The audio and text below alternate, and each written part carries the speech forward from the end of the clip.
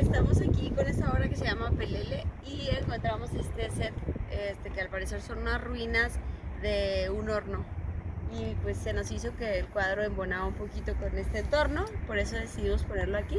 Este cuadro se llama Pelele y está inspirado precisamente en los monos eh, que te hacen que hacen dimensiones este, de los cuerpos, del cuerpo humano, pues estudiando el dibujo del cuerpo humano. Y aparece este personaje y yo eh, como que lo empecé a imaginar y lo empecé a soñar y fue como un personaje muy imaginario que está, es parte de mi vida, ¿no? Esta obra tiene, estuviera como en una posición que, donde estuviera viendo un charco y se estuviera viendo a él mismo.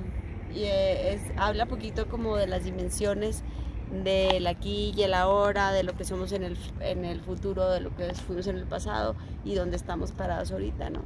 Pelele es una obra llena, llena de, si lo ven, pareciera que estuviera evaporando, estuviera sudando.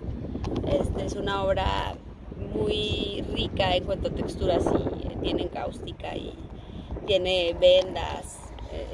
creo que hizo una estructura interesante.